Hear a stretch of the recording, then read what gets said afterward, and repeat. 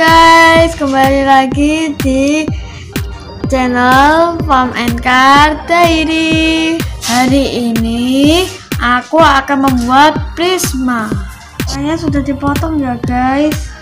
Kalau ingin tahu cara membuat polanya, lihat di sini.